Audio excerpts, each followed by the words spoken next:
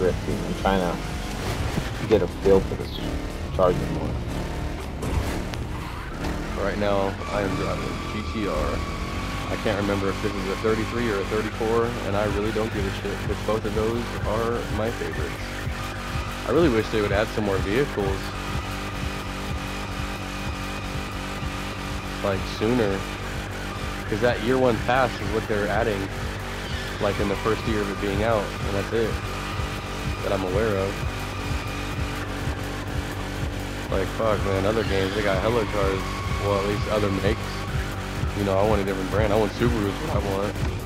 Oh my god.